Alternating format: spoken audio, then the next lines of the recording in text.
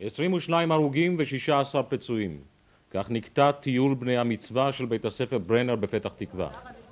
מן הפצועים שלושה פצועים קשה, תשעה פצועים בינוני, שניים פצועים קל, כאשר לפציעתם של שלושה אין פרטים מדויקים. מאז התרחש אסון הדרכים המחריד ביותר שהיה בישראל בשנים האחרונות.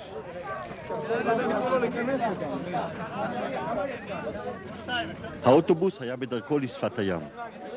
היו בו 33 תלמידי כיתה ז'-12 מחטיבת הביניים בבית ספר ברנר בפתח תקווה, כמו כן היו בו מורה ושני מורים מלווים. בטיול השתתפו ארבעה אוטובוסים. האוטובוס הראשון הספיק לעבור בשלום את המסילה. האוטובוס השני הוא שנפגע. במקום התאונה אין מחסום, אם כי קיים שילוט אזהרה. קטר הרכבת פגע באוטובוס בחלקו האחורי. האוטובוס הואף למרחק של 40 מטרים ונשאר לשכב על צידו. מנוע האוטובוס נעקר ממקומו והואף למרחק של 80 מטרים.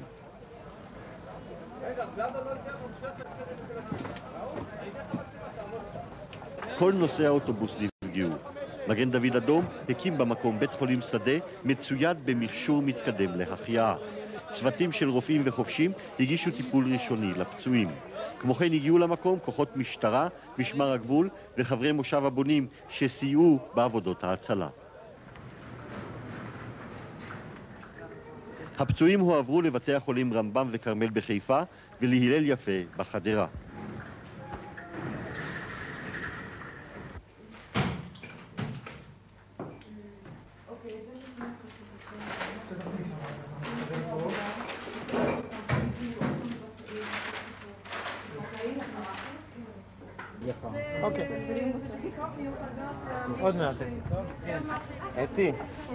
לספר לנו מה קרה? כן, אנחנו יצאנו לטיול, וכעבור ככה שעה, שעה וחצי, חיכינו לכל, ה... לכל שכבות זין, אנחנו מברנר בפתח תקווה, וכשהם הגיעו אנחנו המשכנו לנסוע, עברנו דרך, לא זוכרת איזה מסלול, והגענו ל... לאיזה מקום שבו היינו צריכים לעבור. בדיוק הגיעה הרכבת והצקנו לנהגת שהרכבת הגיעה.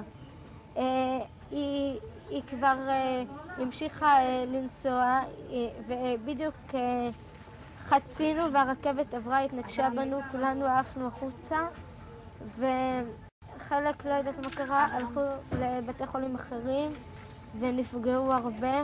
היינו 33 ילד פלוס המורה ושתי הורים. וזה מה שהיה. האוטובוס עלה על פסי הרכבת, ובדיוק באה איזה רכבת, ו... והתנגשה באוטובוס. כנראה שהאוטובוס עצר על, פס... על פסי הרכבת.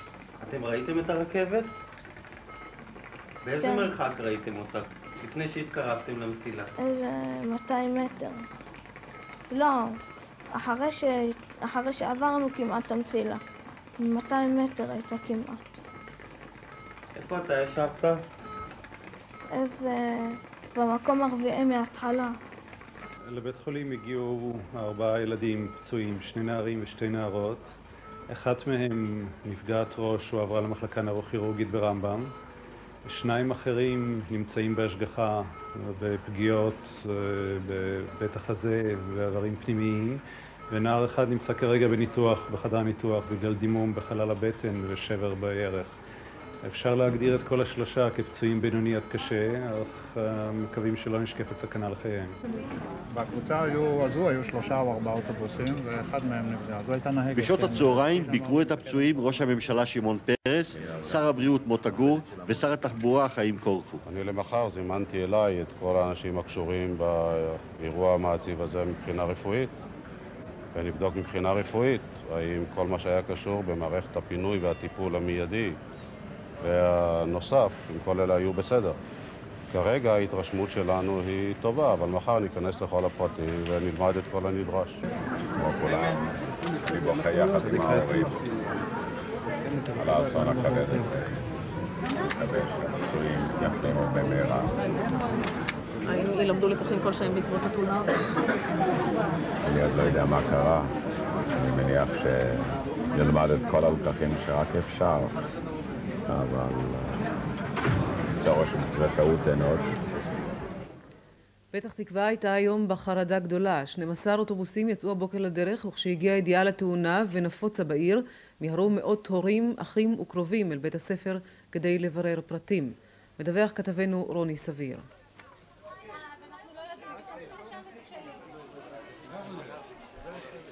כבר בשעות הבוקר עם הישמע דבר האסון מהרו ההורים לבית הספר. חברי סגל ההוראה החזיקו רשימות. ההורים ביקשו לברר מה גורל ילדיהם.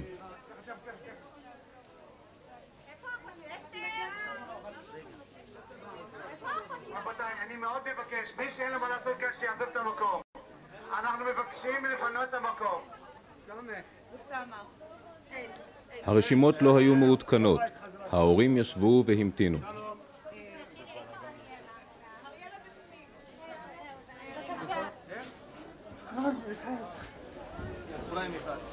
פרנק, פרנק, מיכל.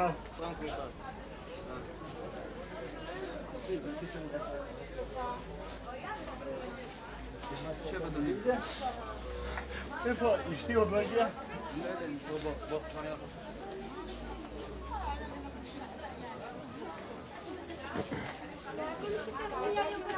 את כבר יודעת פרטים על המצב? לא, הלוואי וידעתי. מה אמרו לך עד עכשיו? לא. האוטובוס שלו. האוטובוס שלו נפגע, אבל אני לא יודעת כלום. 12 אוטובוסים ובהם 500 תלמידי כיתה ז' יצאו הבוקר לטיול. רק 11 חזרו. שניים מהם התקבלו בשעות הצהריים על ידי בני המשפחות. האם הילדים שלהם ירדו מהאוטובוסים האלה?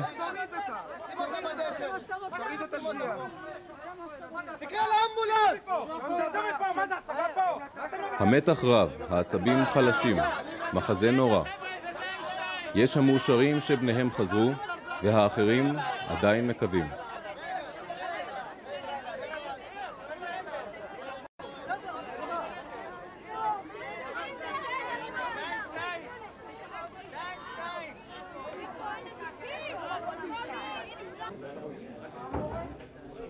בחדר ההנהלה מתכנסים אנשי המשטרה בראשות סגן ניצב יהודה וילק, מפקד משטרת פתח תקווה.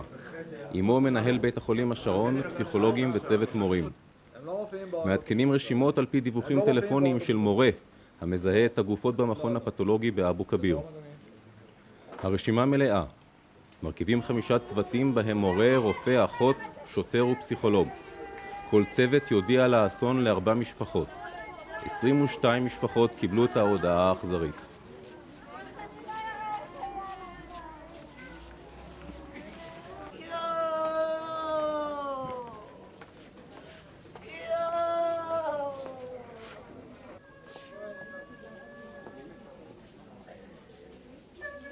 בני המשפחות יצאו מכאן לזהות את יקיריהם במכון הפתולוגי באבו כביר. לאחרים לא עמד הכוח.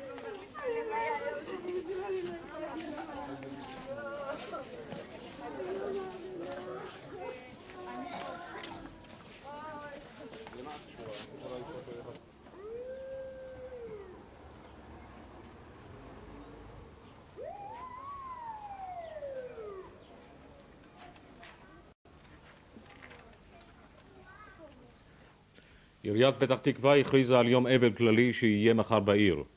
בשעת ההלוויות ייסגרו בתי המסחר ובתי העסק. כל האירועים הציבוריים שנועדו להיות השבוע בוטלו. מאז שעות הבוקר מטפלים ראש העירייה ואנשיו במשפחות שנפגעו. ראש העירייה דוב תבורי נמצא באולפנינו בתל אביב. שלום לך אדוני. שלום. אנחנו מצטערים בצערך שהוא גם צער כולנו. מה, במה יכולה העירייה שאתה עומד בראשה לסייע לאבלים? אנחנו נקטנו מאז אותה שעה שנודע לנו על האסון הנוראי הזה ושיגרנו צוותים של פסיכולוגים, עובדים סוציאליים כדי uh, לטפל בהורים שהגיעו לבית הספר. האינפורמציה שזרמה אלינו הייתה קשה משעה לשעה. אני עצמי כדי לברר עובדות לאמיתן. יצאתי מיד עם סגני לבקר את הילדים בבתי החולים ולקבל את האינפורמציה ממקור ראשון. אחרים פעלו בבית הספר כפי שסיפרתם בכתבה שראינו זה עתה. האסון הוא כבד.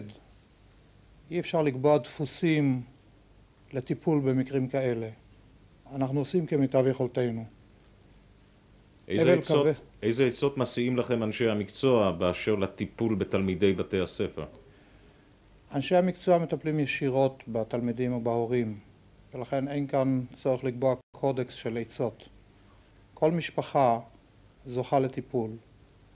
אנחנו קיבלנו גם הצעות, ואני מאוד מכבד ומעריך, מרשויות סמוכות אלינו, אם יש צורך לשגר אלינו את היועצים הפסיכולוגיים שלהם.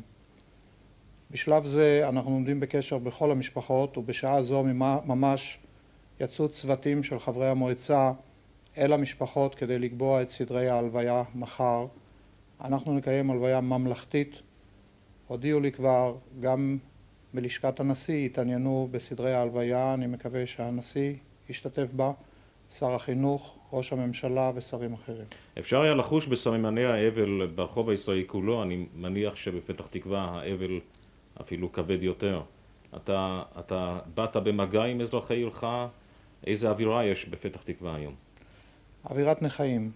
קשה לתאר, קשה להסביר, וקשה לעמוד אל מול אנשים, גם אם האסון לא פגע בהם ישירות, לדעת ש-22 איש לא חוזרים יותר הביתה. זה אמור היה להיות יום של כיף, יום של טיול לסיום שנת הלימודים. איזה ילד לא שמח ליום כזה? איזה הורה, איזה מורה לא מלווים את הילד בברכה ובשמחה? והנה מפח נפש נוראי כזה, זו טרגדיה. הייתי שותף לאסונות, לצערי, שקרו במדינה, במקרה מעלות, במקרה אביבים. אי אפשר להתרגל לדברים כאלה, זה נורא. אני מודה לך שאתה הקדשת מזמנך הדחוק הערב ובאת לאולפנינו. תודה רבה לך, מר טובה. נשיא המדינה חיים הרצוג פרסם הערב את ההודעה הזאת. זהו יום מר, יום אבל לאומי, יום שבו עומדים כולנו הלומי צער ומזועזעים עד עמקי נפש מול האסון הנורא.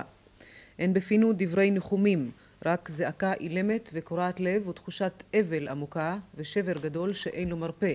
יחד עם המשפחות עטופים כולנו יגון כבד ואין בלשוננו מילים להביע את גודל הכאב. אני תפילה כי יימצא להן נוחם ותעלה ארוחה גם לכל הפצועים. נשיא המדינה מוסיף ואומר, הלב דואב על קורבנות השווא הנופלים יום יום בדרכי הארץ. האם יהיה הזעזוע הפעם כבד דיו לטלטל אותנו משוויון הנפש שבו אנחנו מקבלים את הקטל בדרכים כאילו הייתה זו גזירת גורל, או שמא נוסיף לנהוג מחר כאילו לא אירע דבר. עד כאן ההודעה שפרסם נשיא המדינה. שר התחבורה חיים קורפו מינה צוות בודק לחקור את נסיבות התאונה.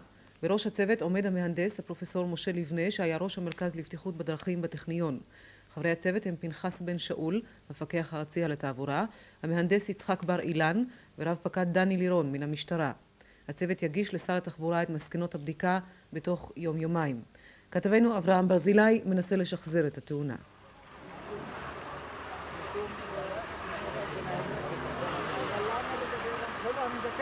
הרכבת נסעה וגם צפרה.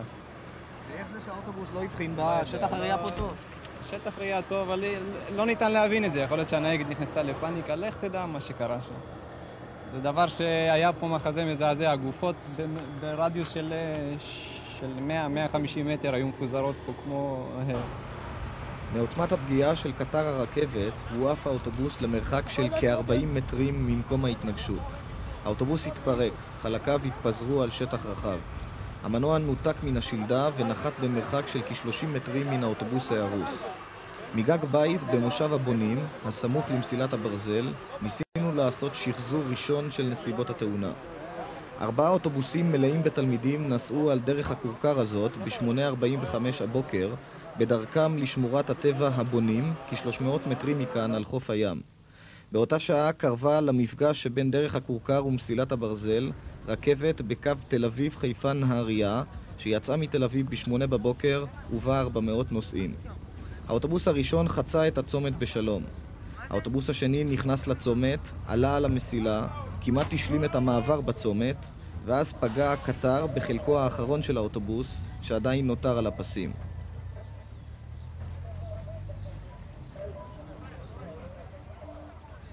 העובדה היא שבכל נסיעה של רכבת על מסילה יש לה עדיפות. לכן לא חשוב מה שקורה, ואני לא, מבקש שזה לא יובן לא נכון מה שאני אומר. כל מה שקורה במפגש הוא אשמת הנהג השני, לא הנהג של הרכבת. כלומר נהג האוטובוס השני. מפני שבמקרה הזה אין ספק שהצד השני, באיזושהי צורה שאני לא יכול להסביר אותה ולא מתכוון להסביר אותה. צריך לבדוק את הצד המכני. אבל יש פה שדה ראייה מצוין. בוא נצא מתוך נקודת הנחה שהאוטובוס נתקע על הפסים. מדוע נהג הקטר לא הספיק לבלום? תראה, קודם כל, אתה לא יכול לדעת, כשאתה רואה רכב על הפסים ממרחק גדול, אתה לא יודע אם הוא עובר אותם או שהוא תקוע עליהם. עכשיו, במקרה הזה, יש לנו כבר עדויות, שאני יכול לומר אותן, מאנשי המושב כאן, שהם שמעו את הרכבת הזאת צופרת במצב לא רגיל, והיא הוציאה את כולם מהבתים, וראו אותה. צופרת קשות. נואשות אולי, הייתי אומר במקרה הזה. לפי הסימנים בשטח, היא גם ניסתה לעצור כנראה. כלומר, היא הרגישה שמשהו קורה.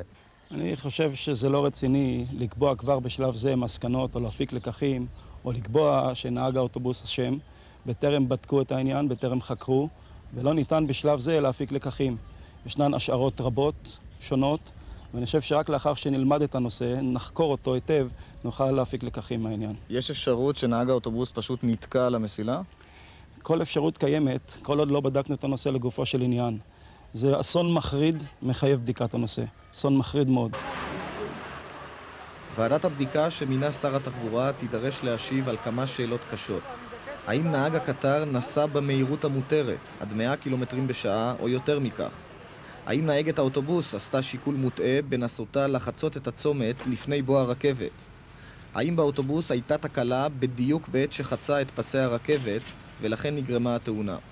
ושאלה חמורה לא פחות, האם כך צריך להזהיר ולהתריע מפני מפגש מסילת ברזל ושביל עפר המוביל לשמורת טבע פופולרית בישראל? המפגש הזה איננו מרומזר, יש לו שלטים, שלטי אזהרה ליד המסילה ובדרכים עצמם, שאפשר לראות אותם בשטח, והוא בסדר העדיפות בין האחרונים. הוא בסדר העדיפות בין האחרונים, מדוע? שהוא דרך סוג ג', דרך פרטית אזורית, שבדרך כלל לא נוסעים שכאן.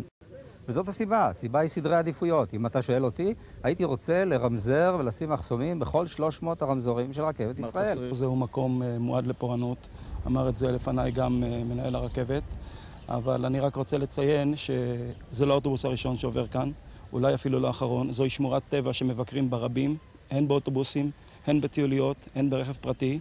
ולצערי הרב, היום קרה כאן האסון, ואני מקווה שאולי במסגרת הלקחים או החקירות יבדקו גם את הנושא הכאוב הזה. ב-12:50 בצהריים חודשה תנועת הרכבות בקו תל אביב-חיפה. הרכבת שבאה מחיפה צפרה, האטה ועברה את הצומת, צומת שהיה היום לשדה קטל ועדיין נותר בלא מחסום ובלא רמזורי אזהרה. אנחנו מארחים באולפן את שר התחבורה חיים קורפו, שלום לך מר קורפו. שלום. אנחנו שמענו את דבריו של מר צפרירי, מנהל הרכבת, אז uh, עכשיו נשאלת השאלה, האם חוץ מאשר לספוק כפיים ולומר אין מה לעשות טעות אנוש, יש משהו מעבר לזה?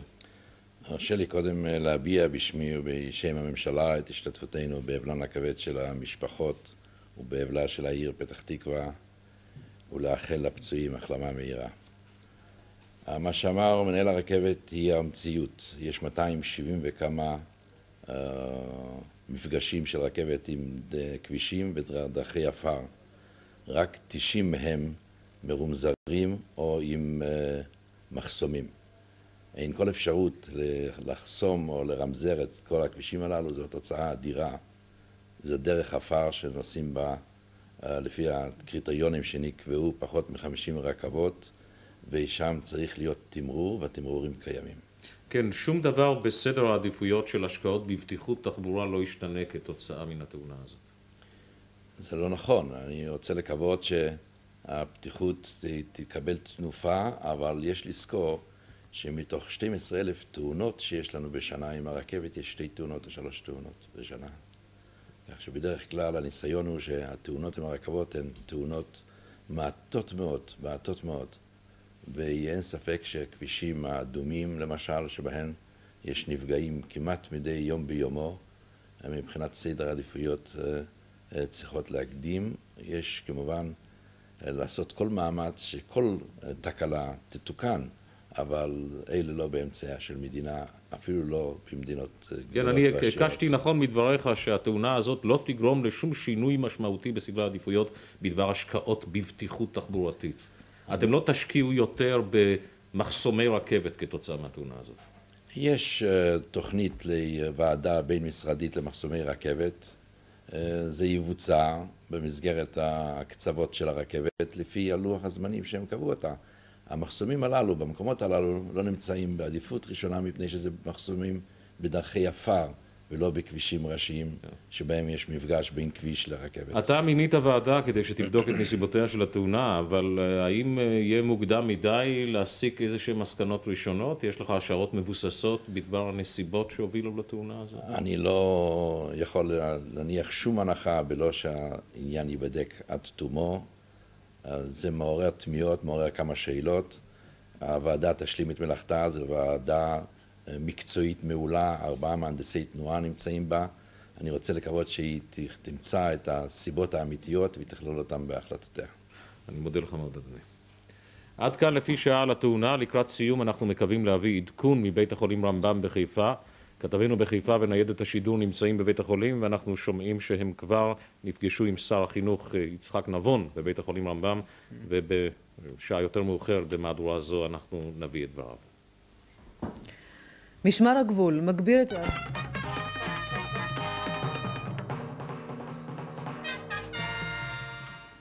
שלום רב לכם, בפתח תקווה הובאו למנוחות בטקס ממלכתי 19 מהרוגי תאונת האוטובוס. בשדה ורבורג נקברה נהגת האוטובוס. העיר פתח תקווה שבתה היום לאות אבל. משרד החינוך ועיריית פתח תקווה הקימו מטה לטיפול נפשי במשפחות ובתלמידי בתי הספר, בית הספר ששכל לתלמידיו. ועדת החקירה של משרד התחבורה ביקרה היום בזירת האסון. חלקה העיקרי של המהדורה הזאת ייוחד לנושא זה, ובשל כך לא נשדר הערב את התוכנית פוקד. ביתר החדשות, בביירות פוצץ היום המטוס החטוף בידי החוטפים השיעים. הם לקחו עמם אנשי ביטחון ירדניים ונעלמו בשכונות העיר. לקשבנו נודע כי מטוס ירדני ובו אנשי קומנדו דלק אחרי המטוס החטוף, אבל לא הצליח להדביקו. שני חיילי צה"ל נפצעו אמש קל בהיתקלות עם מחבלים בדרום לבנון, ארבעה מחבלים נהרגו. ועדת החקירה של האו"ם תיוועד מחר עם שבויי צבא דרום לבנון המוחזקים בידי עמל. היועץ המשפטי לממשלה אישר לערוך ביום ראשון הפגנה של גוש אמונים לאחר שהמפגינים התחייבו שלא לעסוק בהפגנה בנושא של ארגון הטרור היהודי. פרויקט תעלת הימים, אחד הגדולים בתולדות מדינת ישראל, נסגר היום רשמית. הזעזוע, האבל הכבד נמשך. בפתח תקווה הובאו היום למנוחת עולמים 19 מן הנספים באסון האוטובוס. 17 תלמידים, מורה ואם שנלוותה לטיול. בשדה ורבורג נקברה נהגת האוטובוס. אחד הילדים ההרוגים טרם הובא לקבורות משום שהוריו שוהים בחוץ לארץ וטרם אותרו. כתבנו מנשה רז מדווח. היום הזה בבית העלמין בפתח תקווה. ילדים מבכים ילדים. ילדים באים להניח זרים על קבריהם הרעננים של חבריהם.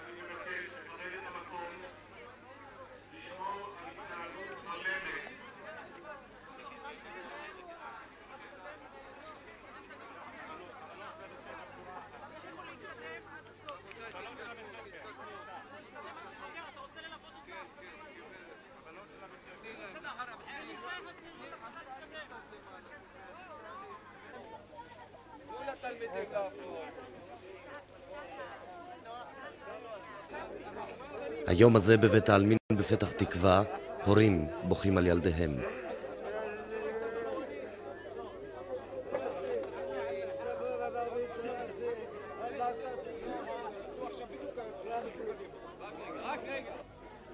משעות הצהריים המוקדמות, משפחה-משפחה, הם באו עם יקיריהם אל חלקת הקבר של כיתה ז'-12 של בית הספר על שם ברנר. עודד אגמון, אסתר גץ, המורה והמחנכת של הכיתה, מיטל גיגי, ערן דהרי, אורית הרשברג, דביר ורובל, צחי חבשה, תמיר טסה, יאירה כהן, סיגלית כהן, יוסף לוי, שלמה מזרחי, לילי מזרחי, מירב מנדלוביץ ואימא של מירב, שלי מנדלוביץ, ליאת סיני, פלורין פלניציאנו, ליאור הצרפתי ואייל שתי. אמיר שחר יובא לקבורות כשיחזרו הוריו ארצה מארצות הברית. אמן.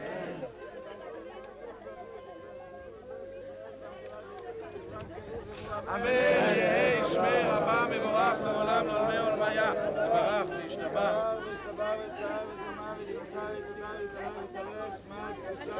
אמן.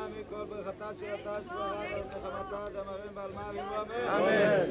יש על מה רבה משמע חייב הצבא וישאר וחנה ושתברך ומחר גאולה זכותה כפרה. ורווח וסלם וכל עמו ישראל לאמור אמן. אמן. עשה שלום ירומם וברחמה ויעשה שלום אמן והקדש להם יאמרו אמן. בשם החברה, בשם החברה קדישה ובשם כל החברים שהתרצו בך, בשם משפחתך, קרוביך, ידידיך ומכריך, אני מבקש ממך התלמיד החשוב, יוסי בן עזרא לוי. אנו מלווים עכשיו נשמות טהורות, נשמות זכות, נשמות ברות, ילדי ישראל שנקטפו בעודם באיבם. הכאב והצער, לא רק להורים, לא רק לעיר פתח תקווה, אלא לכל בית ישראל. כל בני ישראל, כל בית ישראל, כששמע את השמועה, כולם נאחזו חרדה, בכי, צער, כאב, היה לכל בית ובית בישראל. כיתה ז' 12 בבית הספר ברנר התרסקה. ילדים קטנים, ילדות קטנות, טלטלים, צמות, סרטים, סנדלים, ילקוטים, כולם דוממים. חלומות, תקוות, כיסופים של ילדי תום נגדעו בחמתו השפוכה של המוות. כל אחד מהם שנעקר משורשו משאיר חלל נורא ההולך וגדל שאין למלאו. כל ילד עולם מלא. משפחות יקרות, אין בפינו דברי נחמה, כמה דלות נשמעות המילים המנסות לבטא את עומק היגון ואת תהום הכאב. רק זאת תדעו, כי ליבנו איתכם, כי אינכם בודדים באבלכם הכבד. העם כולו כואב את כאבכם, שותף לגונכם המר, וכואב את השרפה הגדולה אשר שרף השם. ואולי, ואולי נעשה כולנו סוף סוף יד אחת ונעצור את הקטל הזה ונשקיע מרצנו ומשאבינו למען מנוע בעתיד חזיון אימים זה, גיא הרגע זה, וידע כל נהג מה יקרות הנפשות המופקדות בידו, וידע כל הולך מה אורב לו בדרכו. יתגדל ויתקדש שמי רבה, בעולמה דעותית לחדת ולחיה מטיה, ולשקה יתון לחיי עולמה, ולמבני קרתה דרשלם, ולשכלך עליו גבה, ולמעקר פולחנה נותרה מערה, ולטבע פולחנה דשמיא לעטרה, וימליך קודשה בריחו במלכותי ויקרי. בחייכם וביומכם ובחיי בכל בית ישראל, בעגלה ובזמן קריב אמרו אמן. יהי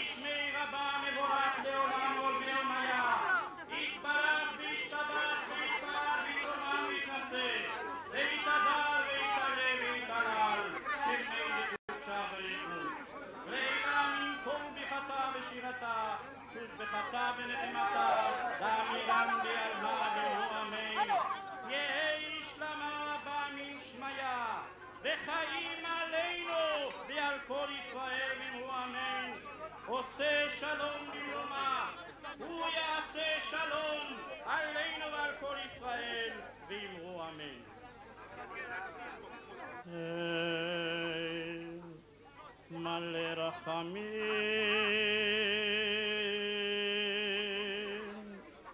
שוכן במרחב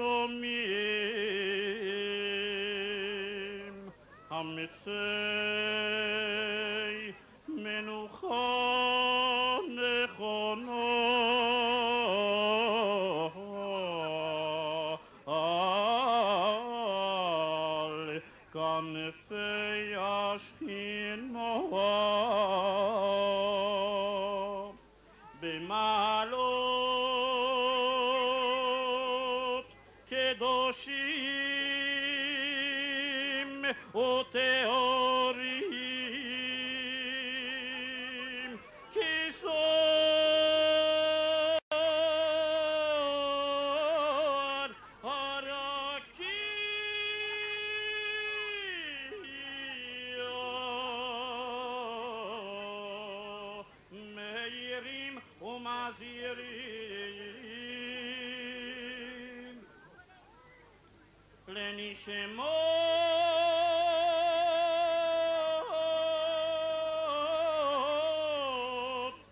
תלמידי בית הספר ברנר בפתח תקווה ואיתם המחנכת ועם המלווה שנזכור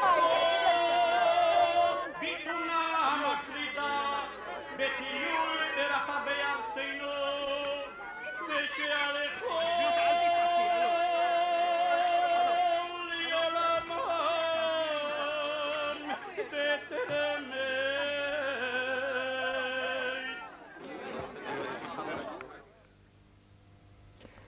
בבתי החולים עדיין מאושפזים 27 פצועי התאונה, 13 פצועים מאושפזים בבית החולים רמב"ם, שלושה בבית החולים כרמל ואחד בבית החולים הלל יפה. העיר פתח תקווה שבתה היום ממלאכה, ורבים מתושביה יצאו להשתתף בהלוויות הנספים. בעיר היה כתבנו בני ליס. העיר פתח תקווה הצטנפה מכאב, אווירת נכאים, הכנות אחרונות לפני יציאת מסע הלוויה.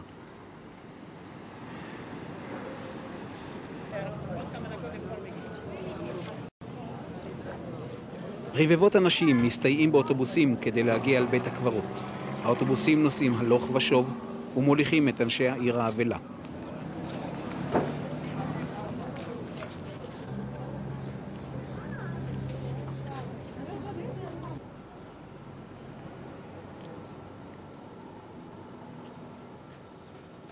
פתח תקווה בשעות הצהריים. הכל כאילו עמד מלכת. דממה.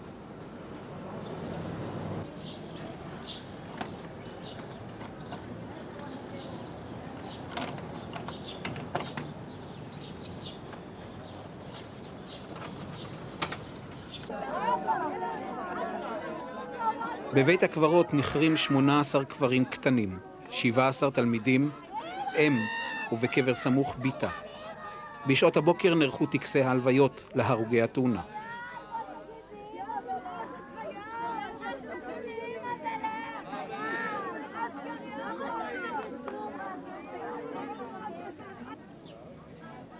כל העיר זרים.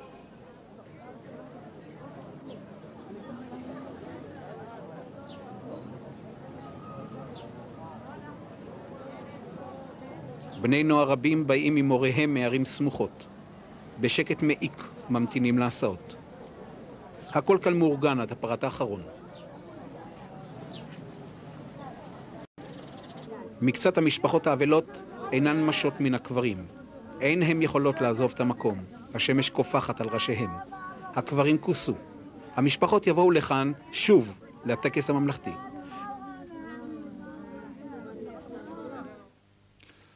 כתבתנו לענייני חינוך ג'ודי לוטס עשתה היום בבית הספר על שם ברנר בפתח תקווה.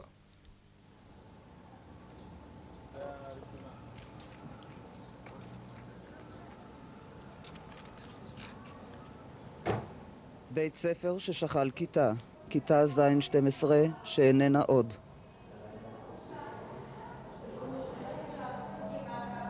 מילים שהמוח אינו קולט.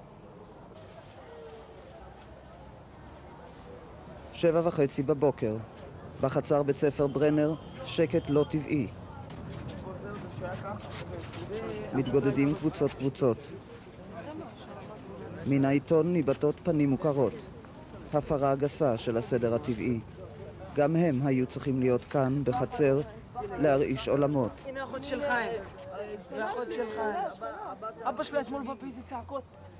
חשבתי שאבא שלו אוטובוס אחר, אז הוא בא רץ לשם עליו וחזר עליו. באיזה צעקות מול הבית שלי. הנה איך קוראים לו, שער תאמין. יש לו גם, אה, גם גרים בבן צבי. גם גרים, לא אלה, לא בבן צבי. אתה רואה את זה? ואלה, ואלה. זה ההורים שלו בחוץ לארץ. זה גם מאחורי. זה ההורים שלו בחוץ לארץ. שכנים שלי, שכנים שלי. זה, זה, זה, אני יודע שכן שלי, נו. חדר המורים, והיום הזה טרם התחיל. מי ידע כמה ארוך יהיה היום הזה? מורים תשושים שלא הורגלו לבכות את תלמידיהם. בעוד דקות אחדות ילכו לכיתות.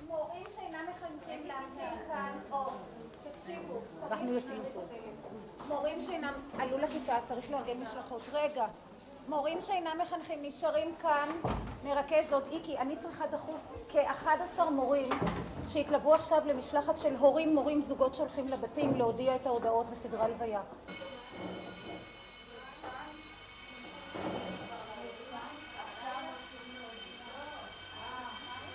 בכיתה מדברים על מה שהיה ועל מי שהיה. ילדים שבגרו בן לילה. אמרה, אני לא בטוח שאני אפסיק לחפש אותם, כי אני לא, לא משלים עם העובדה שהם אינם כבר.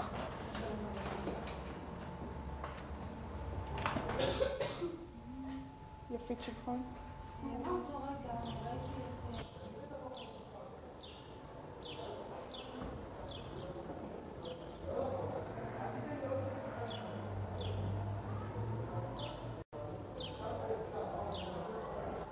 בכיתה הזו היו לך חברים קרובים? מאוד.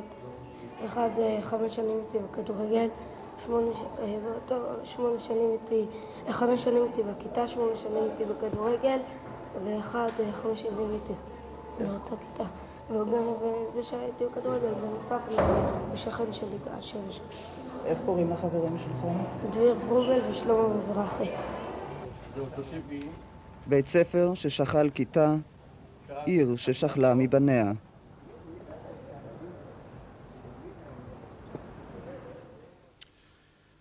כיצד אה, להתמודד עם האסון הזה? משרד החינוך והתרבות פרסם היום את נוהלי הקבע להתמודדות במצבי לחץ ובמתיחות בבתי הספר. הנהלים האלה אמורים אה, לעזור למורים בבתי הספר להתמודד עם חרדות אשר אה, נוצרים עקב אסונות אצל תלמידים ואצל המורים כאחד. אנחנו הזמנו לאולפנינו בתל אביב את הפסיכולוג הדוקטור אביגדור קלינגמן, שהוא מרכז הטיפול במצבי לחץ של השירותים הפסיכולוגיים במשרד החינוך. דוקטור קלינגמן, מה, איך יכול התלמיד להתמודד עם הטראומה הזאת? אה, אין ספק שהטראומה הזאת קשה, לתלמידים קשה בימים אלה, אבל אנחנו מניחים ואנחנו גם יודעים מניסיונות העבר שלילדים יש כוחות נפשיים ובסופו של דבר הם מתגברים, רובם ככולם. מה עובר על התלמיד? יש תלמידים רגישים יותר, יש תלמידים רגישים פחות, יש תלמידים שמביעים יותר, יש תלמידים שמביעים פחות. אה, אי אפשר להכליל, כולם עוברים אותו תהליך של שאלה למה, של פחד, של האם זה היה קורה לי וכדומה. מה היית ממליץ לפני ההורים ולפני המורים? לדבר על זה, לקיים שגרת חיים רגילה, לנסות אה, להוציא מהילדים מה שהם חשים, זה- לדובב אותם? זה וגם זה, אמרת, שגרת חיים רגילה, אכן צריך לחזור לשגרת חיים רגילה, אבל לא נוקשה. ולא נוקשה.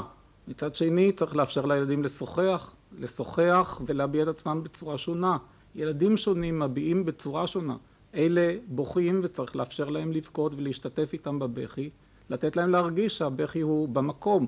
מה שלא נורמלי בימים אחרים, בהחלט נורמלי היום. יש ילדים שמביעים טוב יותר את עצמם בצורת כתיבה, בצורת ציור או באמצעים אחרים. צריך אולי להציע לילדים, לשאול אותם כיצד הם רוצים להביע את עצמם. יש כמובן במצבים כאלה גם שמועות, פאניקה, האם יש להם אפקט שלילי גם על הילדים? אה, ברור שילדים מסתכלים אל המבוגרים וכיצד הם מתנהגים, וחשוב מאוד לכן לתדרך את המורים אה, כיצד להופיע בכיתה וכיצד לדבר עם הילדים. המורים בדרך כלל מתודרכים, אה, ברוב בתי הספר נמצאים מורים יועצים, ישנם שירותים פסיכולוגיים בכל המועצות המקומיות והעיריות שעומדות לרשותם בשעת הצורך. ישנו תיק התמודדות במצבי לחץ שיש בו אפילו מערכי שיעורים. המורים יכולים לפנות ולקבל סיוע במידה והם מרגישים שאינם יכולים בעצמם להתמודד עם זה. רוב המורים, מהניסיון שלנו, מוצאים הרבה מאוד כוחות נפש שהם אינם מאמינים שיש בהם, ואותו הדבר לגבי הילדים. ולבסוף, אה, דוקטור קלינגמן, האם אתה ממליץ גם אה, שלמורים יינתן איזשהו טיפול? אה, בבתי הספר נמצאים יועצים ופסיכולוגיים בימים כתיקונם אותם פסיכולוגים ואותם יועצים עומדים לרשותם גם היום והמורים יכולים לפנות במידה והם מרגישים. בתי הספר שקרובים יותר למקום האירוע אנחנו מטפלים במורים בצורה קבוצתית. יש נמצא... לי... סליחה. כן, לא, יש לי רק עוד שאלה, האם ההורים עצמם מקבלים מכם טיפול? כן, אה, נפתח החל משעה שבע בערב היום מרכז ייעוץ בבית הספר. ההורים יכולים לפנות באופן אישי, המרכז מאויש על ידי אנשים המקצועיים מהענפים השונים, שירותי הרווחה, השירותים הפסיכולוגיים. אה, ניתן לפנות גם טלפונית, למרות שהטלפונים קצת עמוסים, לרשותנו רק שני טלפונים והפניות רבות. אני תודה, אני מודה לך מאוד דוקטור קלימן, אני רוצה רק אה, למסור לצופים את אה, מספר הטלפון 900 900 אזור חיוג תל אביב. אם כן, לכל אלה הנמצאים במצוקה והם רבים לצערנו הרב המספר הוא 900-900, אזור חיוג תל אביב. הוועדה שמינה שר התחבורה לבדוק את תאונת הרכבת ביקרה היום במקום האסון. הוועדה תגיש מסקנות סופיות בתחילת השבוע הבא. מן הממצאים עולה כי נהג הקטר לא חרג מן המהירות המותרת והחל לבלום כ-500 מטרים לפני מקום המפגש. עם זאת נקבע כי האוטובוס אכן עצר לפני המסילה. דיווחו של כתבנו רמי וייץ.